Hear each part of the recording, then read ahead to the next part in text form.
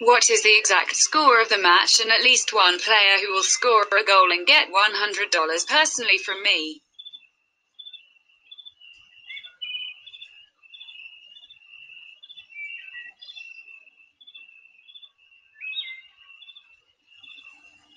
Leave the answers in the comments. Subscribing to the channel and liking the video are also required.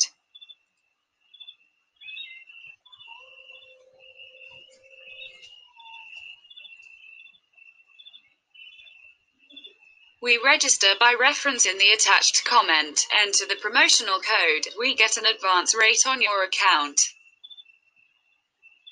Faroe Islands will be aiming to build on a 3-2 win over Malta when they take on Andorra in their second group game.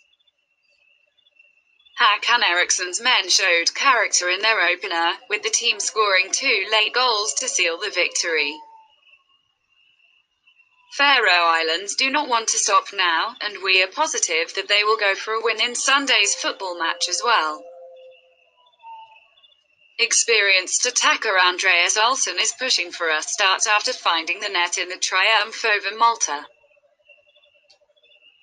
Andorra, on the other hand, played out a goalless draw with 10-man Latvia in Riga.